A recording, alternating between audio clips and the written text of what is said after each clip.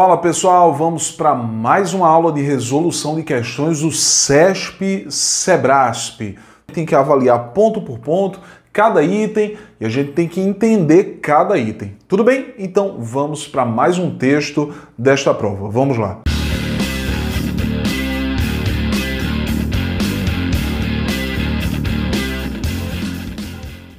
Então é o seguinte, olha, temos aqui o texto, e ele diz aqui, deixa eu pegar minha canetinha, no fim do século XVIII e começo do século XIX, a despeito de algumas grandes fogueiras, olha, a despeito de é uma locução que significa embora, né? Mesmo que, ainda que, apesar de que, ou apesar de aqui, né? Então é como se eu dissesse assim, no fim, no fim do século XVIII e começo do XIX, apesar de algumas grandes fogueiras, a, a melancólica festa de punição de condenados foi se extinguindo. Em algumas dezenas de anos, desapareceu o corpo como alvo principal da repressão penal, o corpo supliciado, esquartejado, amputado, marcado simbolicamente no rosto ou no ombro, exposto vivo ou morto, dado como espetáculo. Ficou a suspeita de que tal rito que dava um fecho ao crime mantinha com ele afinidades espúrias, igualando ou mesmo ultrapassando em selvageria, acostumando os espectadores a uma ferocidade de que todos queriam vê-los afastados, mostrando-lhes a frequência dos crimes, fazendo o carrasco se parecer com criminoso, os juízes com assassinos, invertendo no último momento os papéis, fazendo do supliciado um objeto de piedade e de admiração. A punição vai se tornando a parte mais velada do processo penal, provocando várias consequências, deixando o campo da percepção quase diária e entra no da consciência abstrata. Sua eficácia é atribuída à sua fatalidade, não à sua intensidade visível. A certeza de ser punido é que deve desviar o homem do crime e não mais o abominável teatro. Sob o nome de crimes e delitos, são sempre julgados é, corretamente os objetos jurídicos definidos pelo Código. Porém, julgam-se também as, as paixões, os instintos, as anomalias, as enfermidades, as ina, inadaptações, os efeitos de meio ambiente e de hereditariedade. Punem-se as agressões, mas por meio delas as, as agressividades, as violações e, ao mesmo tempo, as perversões, os assassinatos, que são também impulsos e desejos. Disse-ia que não são eles que são julgados. Se são invocados, é para explicar o fato, os fatos a serem julgados e determinar até que ponto a vontade do réu estava envolvida no crime. As sombras que se escondem por trás, dos, por trás dos elementos da causa é que são, na realidade, julgadas e punidas. O juiz de nossos dias, magistrado ou jurado, faz outra coisa bem diferente de julgar. E ele não julga mais sozinho. Ao longo do processo penal, a da execução da pena, prolifera toda uma série de instâncias anexas. Pequenas justiças e juízes paralelos se multiplicaram em torno do julgamento principal. Peritos psiquiátricos e psicológicos, magistrados da aplicação das penas, educadores, funcionários da administração penitenciária fracionam o poder legal de punir. Disse-á, no entanto, que nenhum deles partilha realmente do direito de julgar. Os peritos não intervêm antes da sentença para fazer um julgamento, mas para esclarecer a decisão dos juízes. Todo o aparelho que se desenvolveu há anos em torno da aplicação das penas e de seu ajustamento aos indivíduos multiplica as instâncias da decisão judiciária, prolongando-a muito além da sentença.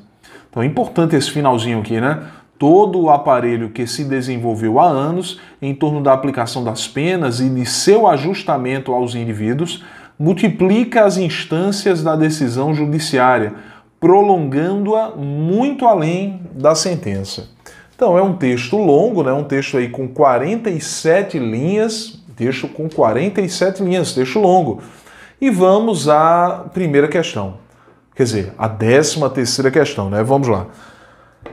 Décima terceira questão diz assim: olha, o enunciado é com relação aos aspectos linguísticos e aos sentidos do texto, julgue os itens a seguir. Décima terceira, o autor do texto reflete sobre a evolução histórica da justiça, a punição de condenados que, de início, ocorria mediante dores físicas, passou a partir dos princípios do século XIX a ter caráter mais moral, submetendo os réus a sofrimentos mais sutis, mais velados. Isso é verdade ou mentira? É verdade. Durante o texto se falou sobre isso, né? ele vem discorrendo desde o passado até a contemporaneidade, né? e falando como foi a evolução da punição. Isso é verdade, eu vou marcar o ponto 13 como verdadeiro. Vamos lá pegar aqui minha canetinha, olha só, certo. Ponto 14. Vamos lá, ponto 14. No longo período que finaliza o primeiro parágrafo do texto, as formas verbais no gerúndio relacionam-se uh, por coesão ao termo tal rito. Será? Na linha 7, olha. Vamos ver? Uh, eu vou ler aqui da terceira linha, certo? Deixa eu ver se é daqui mesmo. É. Então ele diz assim: em algumas dezenas de anos desapareceu o corpo como alvo principal da repressão penal. O corpo supliciado, esquartejado, amputado, marcado simbolicamente no rosto ou no ombro, exposto vivo ou morto, dado como espetáculo. Ficou a suspeita de que tal rito, olha só, de que tal rito que dava um fecho ao crime mantinha com ele afinidades espúrias, igualando-o ou mesmo ultrapassando-o em selvageria. Então, olha, tal rito que dava um fecho ao crime mantinha com ele afinidades espúrias, igualando, igualando, igualando o que, pessoal? O crime é isso? Vamos reler? Ficou a suspeita de que tal rito que rito, Tiago? Esse rito aqui, olha, o rosto exposto, vivo ou morto, dado como espetáculo. Esse espetáculo, né? Ficou a suspeita de que tal espetáculo, tal rito, que dava um fecho ao crime, que dava um fecho ao crime, mantinha com ele, mantinha com o crime, afinidades espúrias, igualando o crime ou mesmo ultrapassando o crime em selvageria. Isto é, o rito de expor o marginal, né, o, o condenado vivo ou morto, né, como um espetáculo, é, igualava ou, ultrapa, ou se igualava ou ultrapassava o próprio crime é, feito pelo condenado. É isso que ele está dizendo. Então, ele está dizendo que por coesão, igualando e ultrapassando faz referência ao rito. Isso é verdade. O tal rito, que está aqui, olha, vamos marcar. Tal rito está aqui, olha, tal rito. Então, igualando e ultrapassando realmente fazem referência ao rito. Isto é, o rito iguala, iguala, se iguala né, ao crime, ou ultrapassa o crime em selvageria. É verdade. Então existe uma relação de coesão, uma relação de referência ao termo que já foi citado, né? Então a coesão aí que eu poderia até chamar de coesão é, anafórica, a coesão para um termo a um termo que já foi citado, né? Então vamos lá. O 14, a 14 questão, lembrando que a 13 estava correta e a 14 também está correta, né? Porque ele diz, vamos reler, no longo período que finaliza o, o primeiro parágrafo do texto, as formas verbais no gerúndio relacionam-se por coesão ao termo tal rito. É verdade isso, a gente viu.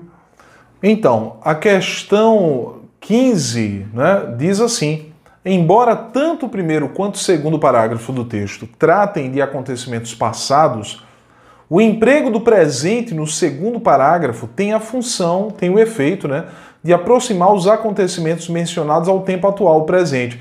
Isso é verdadeiro. Se você voltar ao segundo parágrafo, você vai notar isso. Ele tenta aproximar o leitor à contemporaneidade, né? Então por isso ele coloca no segundo parágrafo verbos no presente. Isso é verdadeiro. Marcamos aí o ponto 15. Bom, ponto 16. A coerência textual seria prejudicada, coerência textual seria prejudicada se após teatro, na linha 20, fossem inseridos dois pontos. E o trecho, olha, além de inserir os dois pontos, eu teria que inserir o, trecho a mecânica exemplar da punição muda as engrenagens. E isso serviria como conclusão das consequências enumeradas, dado o emprego nesse trecho de linguagem figurada, incompatível com o gênero do texto. Olha, ele está dizendo que seria incoerente porque seria uma linguagem figurada, incompatível com o gênero do texto a coerência seria prejudicada, né? Será, pessoal? Vamos ver? Olha, tá aqui, olha. Vamos ler esse parágrafo inteiro, né? A punição vai se tornando a, par a parte mais velada do processo penal, provocando várias consequências. Deixa o campo da percepção quase diária e entra no da consciência abstrata. Sua eficácia é atribuída à sua fatalidade, não a sua intensidade visível. A certeza de ser punido é que deve desviar o homem do crime e não o abominável teatro. Aí, olha, dois pontos. A mecânica exemplar da punição muda as engrenagens. Então ele está dizendo que isso fica incoerente? Não, não fica incoerente, né? Porque realmente é, isso aqui seria uma consequência do que foi colocado aqui, né?